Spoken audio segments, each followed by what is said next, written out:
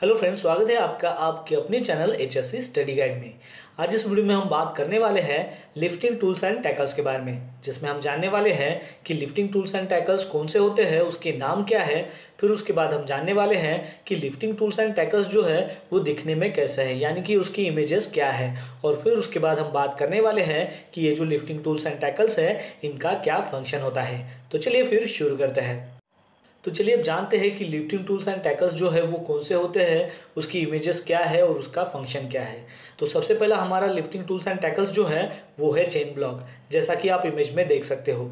और ये जो चेन ब्लॉक है, ये कई तरह के आते हैं, यानी कि दो टन के हो, पाँच टन के हो, दस टन के हो, ऐसे कई तरह के चेन ब्लॉक आते हैं। जैसा कि आप इमेज में देख पा रहे हो कि चेन ब्लॉक का जो इस्तेमाल है, वो पाइप को उठाने के लिए हो, या फिर कोई भी मटेरियल को आपको अगर होल्ड पोजीशन में अगर रखना हो, या फिर उसको वर्टिकल पोजीशन में अगर उसको लिफ्ट करना हो तो चेन ब्लॉक का इस्तेमाल आप कर सकते हो, और ये जो चेन ब्लॉक का इस्तेमाल है, ये आपको मैनुअली करना होता है। इसमें आपको एक चेन के ज़रिए जो है, आपको उसको पुल करना होता है, और दूसरे चेन के ज़रिए जो है, वो आपको मटेरियल को जो है, वो बांधना होता है। तो जैसे जैसे आप चेन को पुल करते जाओगे वैसे वैसे वो जो चेन ब्लॉक की जो कैपेसिटी है और जो मटेरियल की कैपेसिटी है वैसे वैसे वो जो लोड है, वो नीचे ऊपर होते जाता है।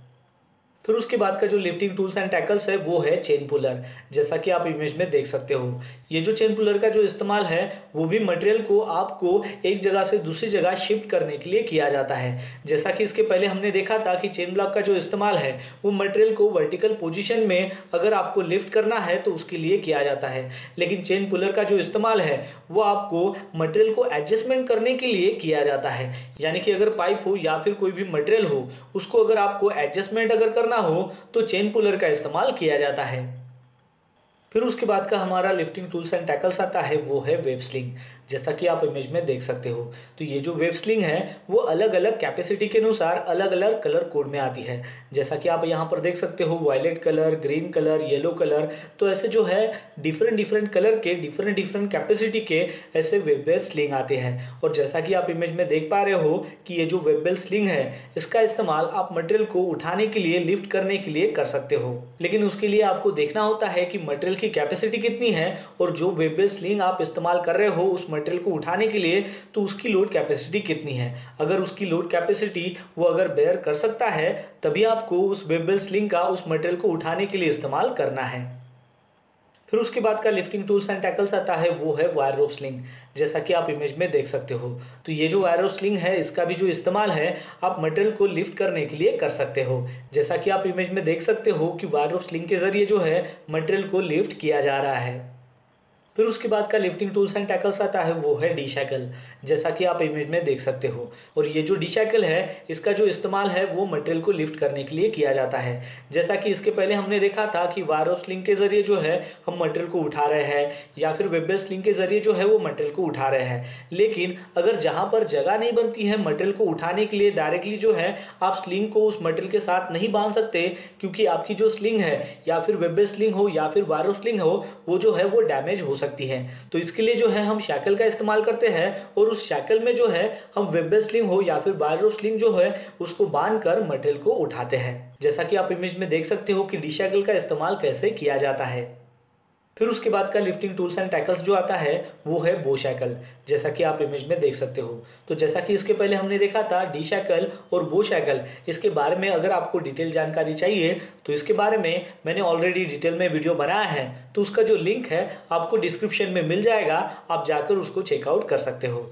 तो ये जो बोशाकल है, इसका भी जो इस्तेमाल है, आप मटेरियल को लिफ्ट करने के लिए कर सकते हो। जैसा कि आप इमेज में देख सकते हो कि स्लिंग के ज़रिए जो है मटेरियल को उठाया जा रहा है, लेकिन स्लिंग और मटेरियल के बीच में जो हम होल्ड पोजीशन है, जहाँ पर स्लिंग को बांधा गया है या फिर अटैच किया गया है, वहाँ पर जो है वो बोशाकल है। और यहाँ पर जो है आप डायरेक्टली स्लिंग को इस मटेरियल के साथ बाँध नहीं सकते हैं, इसलिए आपको यहाँ पर बोशाकल हो या फिर डी शैकल हो, उसका यहाँ पर इस्तेमाल किया जाता है ताकि आपकी जो स्लिंग है वो डैमेज ना हो और जो मटेरियल आप लिफ्ट कर रहे हो, वो सेफली लिफ्ट कर सको। फिर उसके बाद का लिफ्टिंग टूल्स एंड टैकल्स आता है, वो है प्लेट क्लैंप, जैसा कि आप इमेज में देख सकते हो। तो ये जो प्लेट क्लैंप है, ये जो है वो कई तरह के आते हैं, जैसा कि हॉरिजेंटल प्लेट क्लैंप हो या फिर वर्टिकल प्लेट क्लैंप हो, इस तरीके से इनके जो है वो टाइप्स होते हैं। जैसा कि आप इमेज में देख सकते हो कि हॉरिजेंटल जो प्लेट क्लैंप है, इसके ज़रिए प्लेट को उठाया जा रहा है। फिर उसके बाद का लिफ्टिंग टूल्स एंड टैकल्स आता है, वो है हुक चुक जिसे हम पुलिंग लिफ्टर भी कहते हैं, जैसा कि आप इमेज में देख सकते हो। तो ये जो हुक चुक है, इसका जो इस्तेमाल है, आप मटेरियल को पुलिंग करने के लिए कर सकते हो। जैसा कि आप इमेज में देख सकते हो कि एक साइड में जो है वायर रोप आती है और उस वायर रोप में जो है वो मटेरियल को होल्ड किया जाता है। और जैसा कि आपको उसको अगर पुल करना है तो ये जो लिवर है, इसके ज़रिए आप उसको पुल कर सकते हो। इसलिए इसको पुलिंग लिफ्टर भी कहा जाता है। फिर उसके बाद का लिफ्टिंग टूल्स एंड टैकल्स आता है, वो है बीम क्लैम लिफ्टर जैसा कि आप इमेज में देख सकते हो। तो ये जो बीम क्लैम लिफ्टर है, इसका जो इस्तेमाल है आप कोई भी जो बीम हो, जहाँ पर जगह नहीं हो चेन ब्लॉक को लगाने के लिए, या फिर लिफ्टिंग जो आपका टूल्स एंड टैकल्स है, उसको लगाने की अगर जगह नहीं हो तो वहाँ पर जो है आप बीम क्लैम लिफ्टर का इस्तेमाल कर सकते हो। जैसा कि आप इमेज में देख सकते हो कि यहाँ पर जो है एक बीम है, और वहाँ पर जो है बीम क्लैम का यहाँ पर इस्तेमाल किया गया है, और फिर उस बीम क्लैम को जो है चेन ब्लॉक जो है वो अटैच किया गया है, क्योंकि चेन ब्लॉक का जो हुक है, वो डायरेक्टली आप उस बीम में नहीं डाल सकते। तो इसके लिए जो है आपको बीम क्लैम लिफ्टर का इस्तेमाल करना होता है। फिर उसके बाद का लिफ्टिंग टूल्स एंड टैकल्स आता है, वो है आई बोल्ट जैसा कि आप इमेज में देख सकते हो। तो यहाँ पर एक साइड में जो है वो थ्रेड दिए हुए रहते हैं और दूसरे साइड में जो है वो आपको आई शेप जो है वो दिखाई देता है। तो एक साइड में जो आई शेप है, वहाँ पर जो है आपकी जो स्लिंग है उसको अटैच किया जाता है और जो दूसरे साइड में थ्रेड है, उसको जो है मटेरियल में जो है वो फंसाया जाता है जिसमें थ्रेड हो।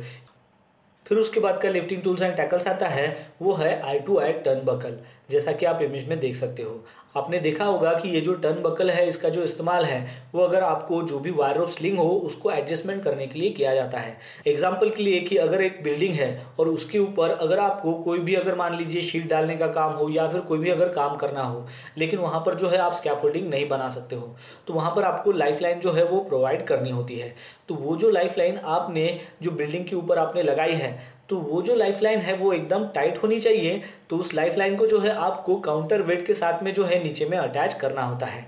तो ये जो लाइफ लाइन है, ये टाइट होना चाहिए, इसमें जो है कोई भी लचक नहीं होनी चाहिए तो इस लाइफ लाइन को जो है हम टर्न बकल के ज़रिए जो है वो टाइट करते हैं। क्योंकि यहाँ पर जो है दोनों साइड में जो है वो थ्रेड होता है तो दोनों साइड में जो है इस लाइफ लाइन को जो है वो बांधा जाता है और जैसे जैसे आप इसको घुमाते हो तो वैसे वैसे ये जो है वो टाइट हो जाता है या फिर लूज हो जाता है। जैसे भी आपकी वर्क की कंडीशन हो, उस प्रकार जो है आप उस लाइफ लाइन को जो है इस टर्न बकल के ज़रिए जो है एडजस्टमेंट कर सकते हो।